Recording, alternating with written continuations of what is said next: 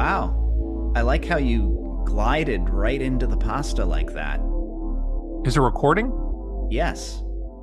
Nice. So I'm I'm like laying lean back in the pasta. Is it comfortable? I don't know. I wonder if pasta would be comfortable. They used to have water beds. That used to be a thing. We're stupid enough to buy pasta beds, leftover pasta, like a leftover pasta pillow. What are we not stupid enough to do? Remains to be seen. Yeah, that's true. I mean, we have this show. We do have this show, and it's a great show.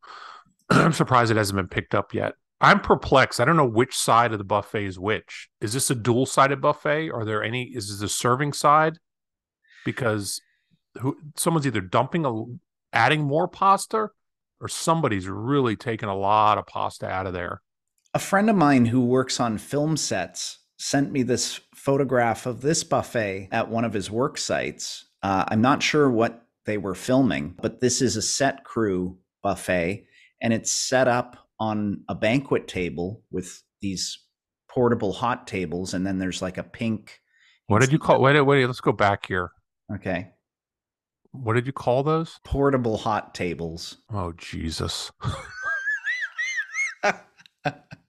the portable. You just make up your own name for stuff. Yeah, I mean, oh, I need a few of those portable hot tables. No, it's shape chafing dish. In fact, there's an entire book written about the possibilities of chafing dishes. These are chafing dishes. Such a weird word, too. Chafing. How do you spell it? Is it chafing or chafing? Chafing's when you have like a rash on your face, like that skier that I just saw on Yahoo. That's chafing, or when your pants rub against your legs. Yeah, that is chafing. So not to be confused with chafing. It sounds like it's an it's a verb. What are you doing? I'm going chafing.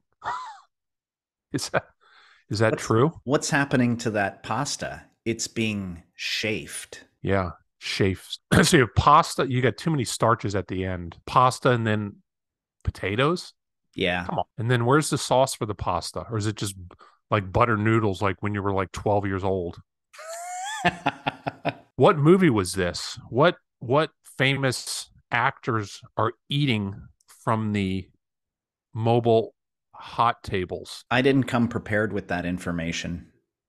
Well, I think those feet, those shoes, to me, those look like maybe an actor who was popular when he was young. Maybe he was in TJ Hooker, which is an 80s cop show. And now he's 78 years old.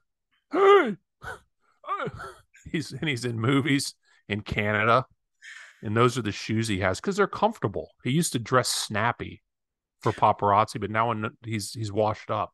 Many people who are watching this will probably not know that T.J. Hooker had William Shatner as the main star, and William Shatner is Canadian, isn't he? I think you're right. See, we tied it all in. Let's end this show now while we're ahead.